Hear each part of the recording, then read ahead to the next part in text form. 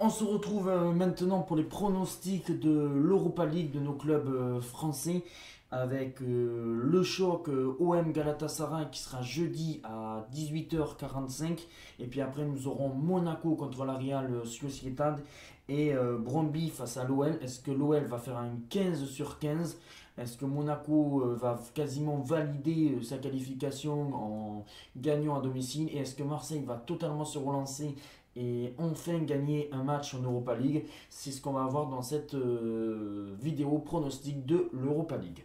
Alors entre Galatasaray et Olympique de Marseille, j'espère vraiment y croire, même s'il n'y aura pas Dimitri Payet, il n'y aura pas Ender, ça va être compliqué.